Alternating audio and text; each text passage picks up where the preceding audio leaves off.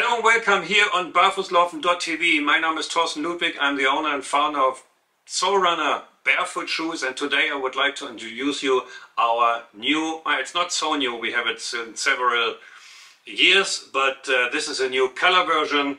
It's a new version, we have it in this color, in blue and orange, and we have it in blue and blue with a blue outsole and would like to introduce you and give you some product information to this Soulrunner Eris kids shoe for winter. Stay tuned.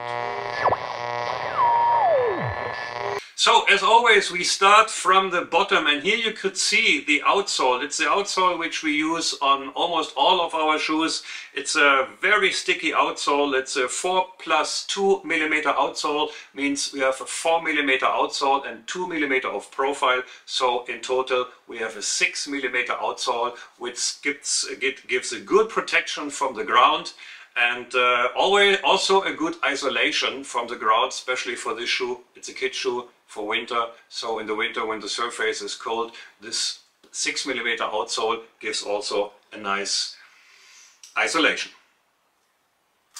Apropos isolation, we have also an insole for this shoe, so this gives an extra isolation. This insole is in every sporty shoe. This is a plain leather upper material which has several advantages. Number one, it's pretty easy to care pretty easy to polish. Please use a polish in the appropriate color and of course use an impregnation spray, but later on I will say something about how to care this shoe. The inner lining is a fleece lining. We use this lining on several shoes. We have really a lot of shoes using this lining and this lining is very good. It's, the abrasion is very good from the shoe. Plus it takes off the moisture and it gives back the moisture. And this is more important for kid shoes because kids have the same amount of pores on the on the foot sole than adults, but the shape of the foot is smaller than the shape of um, of an adult. So this is the reason why almost every kid has wet socks when wearing the shoes because of the pores. The closure is a velcro closure. It has two velcro stripes. There's are pretty easy, pretty open and pretty pretty easy to open and pretty easy to close even for kid fingers and also for cold kid fingers. This is a winter shoe so please consider this and uh, it's pretty easy for the kids to close the shoes, open the shoes so no help from adults are necessary, especially in the kindergarten. I think this is a quite good, uh, a quite good thing that kids can open and close the shoes by themselves. The width of this shoe is wide. We always, we always use the same width in all of our shoes. Of course, as I said, it's um, it's a winter lining, so it might take off a little bit space, or it will take off a little of a little bit of the space, a little bit of the room inside the shoe.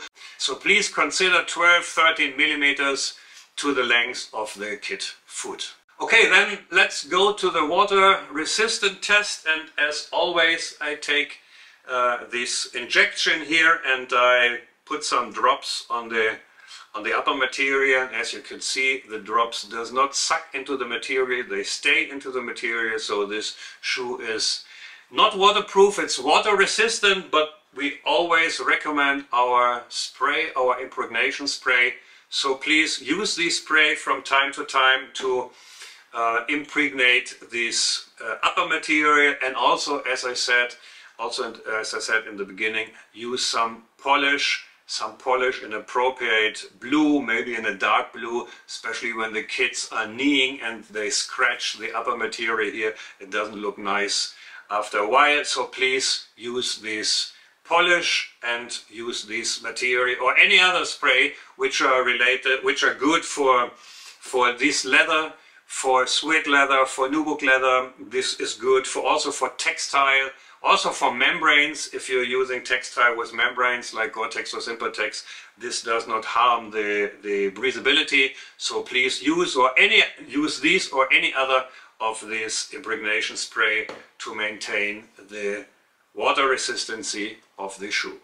That's for now. Thank you for tuning in. If you like this video, if you like this video, please give a thumbs up and uh, subscribe to the channel and if you activate the bell then you will be uh, informed by YouTube when we load up a new video. Thank you for watching. If you have any questions, any comments, please write down in the comment field and bye bye. See you later.